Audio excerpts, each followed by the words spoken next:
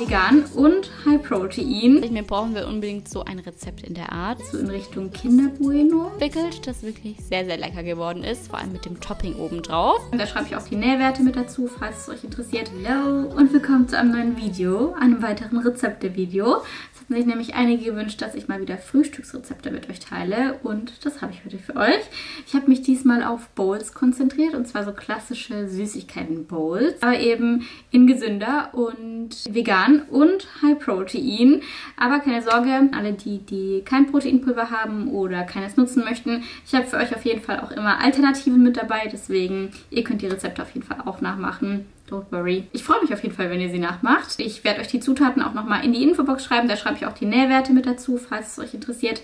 Und ansonsten würde ich sagen, würde ich gar nicht groß drum rumreden und wir legen direkt los. Wir starten mit der Bueno Bowl und ich muss halt wirklich dazu sagen, ich liebe Bueno seit meiner Kindheit. Für mich gehört das zu einer der besten Süßigkeiten und dementsprechend musste da unbedingt eine Bowl mit her.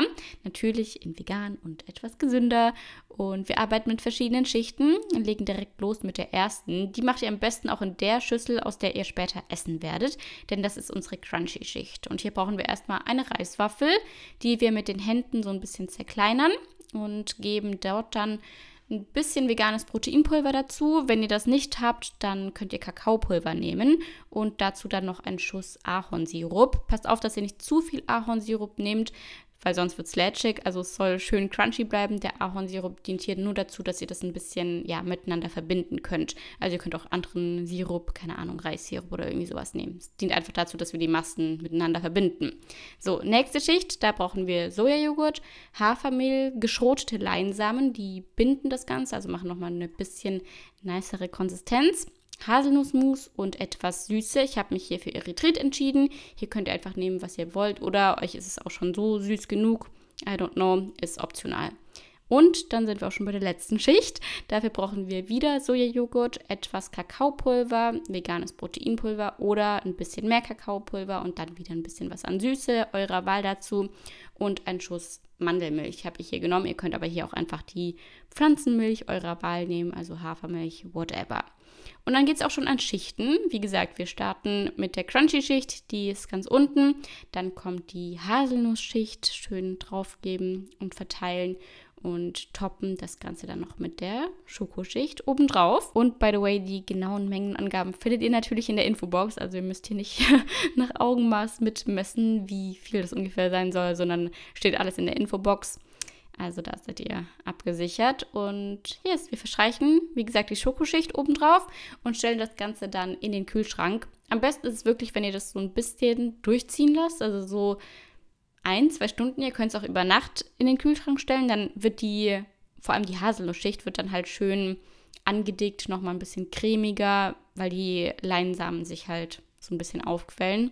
Aber ja, reicht auch, wenn es eine Stunde im Kühlschrank steht. Ihr könnt es auch direkt essen, also so ist nicht. Aber es wird nochmal ein bisschen nicer, wenn es ein bisschen gestanden hat. Getoppt habe ich das Ganze dann tatsächlich noch mit einem Bueno. Es gibt inzwischen ja auch schon, also nicht von der Eigenmarke, aber es gibt auch vegane Bueno-Imitationen, die ihr nutzen könnt. Ich habe noch ein bisschen Haselnussmus mit drauf gemacht und mir das Ganze dann schmecken lassen. Wir machen weiter mit unserer nächsten Bowl und das ist eine Cinnamon Bun Bowl. Jetzt, wo es anfängt, schon wieder kälter zu werden, dachte ich mir, brauchen wir unbedingt so ein Rezept in der Art und habe dann dieses hier entwickelt, das wirklich sehr, sehr lecker geworden ist, vor allem mit dem Topping obendrauf. Wir starten wieder mit Sojajoghurt. Ihr könnt übrigens aber auch anderen Joghurt verwenden, einfach den, den ihr wollt, Kokos, whatever. Da geben wir Hafermehl dazu. Hier könnt ihr einfach Haferflocken zu Mehl verarbeiten, wenn ihr kein Hafermehl kaufen wollt. Veganes Proteinpulver im Vanillegeschmack. Wenn ihr das nicht habt, einfach mehr Hafermehl, etwas Süße eurer Wahl und Vanille dazugeben. Da kommt noch Pflanzenmilch dazu und das vermengen wir dann erstmal gut, bis wirklich eine schön cremige Masse entsteht, so wie ihr es hier seht. Und wenn wir das gemacht haben, dann stellen wir das erstmal beiseite und kümmern uns um unser Topping. Hierfür brauchen wir einmal Nussmus. Das, was ihr im Video seht, ist Haselnussmus. Ich habe beim Testen aber meistens Mandel verwendet. Ich hatte dann nur keins mehr, als ich abgefilmt habe.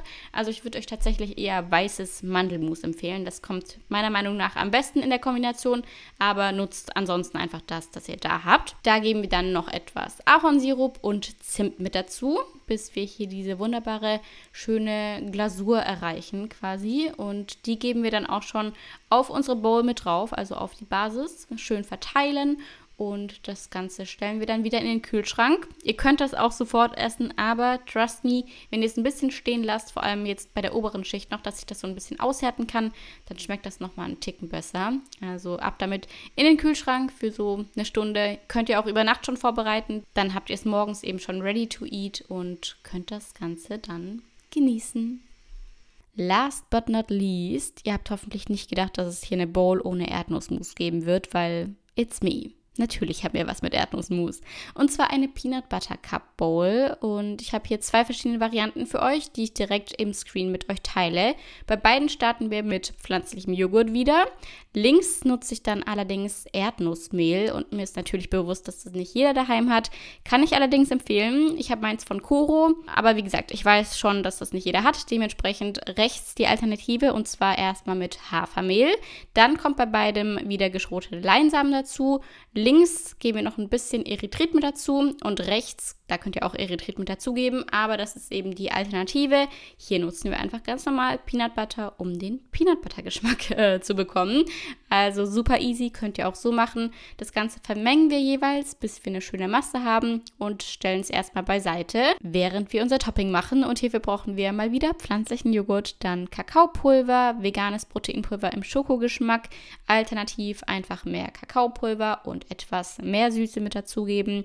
Das Ganze dann wieder schön vermengen, bis wir eine etwas festere Masse bekommen als bei der ersten Bowl. Also hier wollen wir so ein bisschen, ja, wirklich so, ein, so eine Ganache nennt man das, glaube ich. Also wirklich so ein festeres, eine festere Schokoschicht haben. Die geben wir dann nämlich auf unsere Erdnussschicht, verteilen das ganz schön, mal wieder in den Kühlschrank stellen, oder eben nicht, wie ihr wollt, je nachdem, wie hungrig ihr seid oder ob ihr es euch schon vorbereitet, einfach im Vorhinein. Aber wie gesagt, aus dem Kühlschrank nochmal ein bisschen besser. Aber müsst ihr nicht machen. Ich habe mir das Ganze hier dann noch ein bisschen getoppt mit selbstgemachten Peanut Butter Cups, Erdnussmus und Erdnüssen und dann schmecken lassen. Und das schmeckt definitiv. Also ich bin wirklich super gespannt, welche der Bowls ihr nachmachen werdet, wie es euch schmeckt und ähm, ja, lasst es euch auf jeden Fall schmecken. That's it. Ich hoffe, euch hat es gefallen. Wenn dem so ist, dann äh, lasst mich das gerne wissen mit einem Daumen nach oben.